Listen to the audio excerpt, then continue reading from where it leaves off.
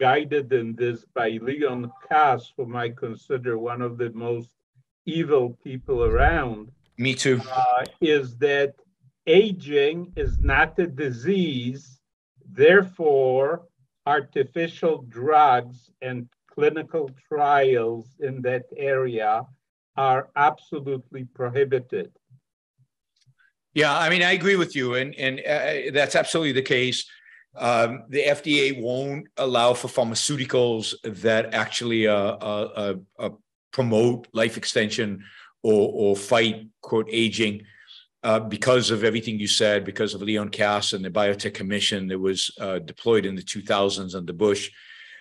they document where they explain why they're generally against uh, anti-aging uh, medication or anti-aging treatment is one of the most evil documents ever written. Uh, and um, but yes, this is this is the world we live in. So what they have to do is uh, they have to do uh, natural quote supplements. Um, they can't create. Uh, it's very difficult to create formulas that gain them very rigorous IP. As a consequence, the upside for profit is limited. And as a consequence, there's a lot fewer clinical trials. Uh, so, so not only uh, do we don't we get the so-called artificial, uh, but we also let, get a lot less research, a lot less, um, uh, you know, clinical trials. So we know a lot less about these compounds, and we know a lot less about their efficacy. And to a large extent, our doctors, as good as they might be, um, a lot of it is guesswork because they don't really know uh, with regard to aging, uh, and and it's a difficult topic anyway because it's hard to do clinical trials for aging. Um, but uh, but and there's a lot of conflicting information. But but yeah, my my approach is uh, take the things that are most that seem the most likely. Um, take them one at a time. Now I've learned so that I know which one I'm allergic to and which one I'm not, which one I tolerate, and which one I'm not, and keep playing around with them until I find a combination that's okay. And then, um, you know, I, I won't find, I will never know if they actually extended my life or didn't. Um, okay. because who knows I, how, how long I'd live without them and how long I'd live with them. So that's your private hat, but you're also yep. the chairman of the Ayn Rand Institute. Why isn't this a major political issue for the Ayn Rand Institute? I consider it at least as important as abortion.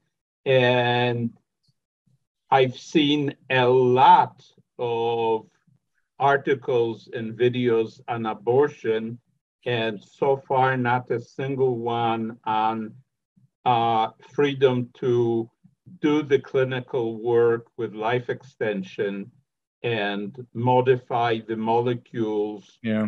make them more acceptable and so on. I mean, I think I think in terms of the institute, it's it's a question of um, choosing the topics to be discussed. There are a lot. We don't do a lot of political topics.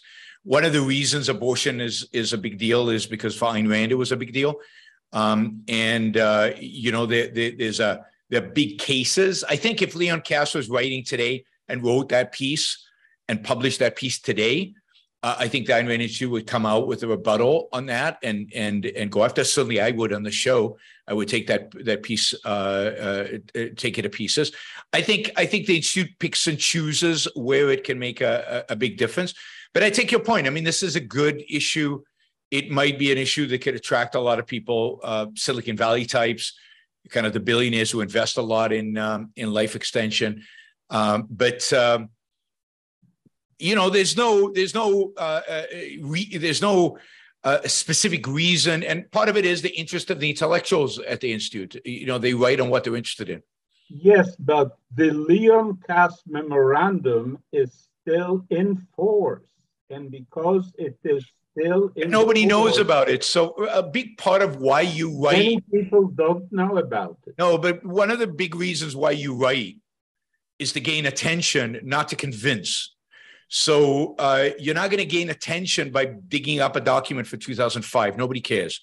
But you are going to get attention about a Supreme Court decision tomorrow. If the Supreme Court took up a case relating to, to, to this issue, we would definitely comment on it. You'd get a lot of attention on it. So uh, the, the, the way you pick topics is not because you think that on any issue you're going to convince anybody. Indeed, I don't know if we convince anybody on abortion, but you pick a topic with the idea of, uh, you, you know, in a sense, getting press, getting attention, and getting people because of that to read Ayn Rand. And if we thought we could get that with this issue, and I think maybe we can. I think given given a generation now of um, you know billionaires investing in this, maybe this would be a, something that they would uh, pay attention to.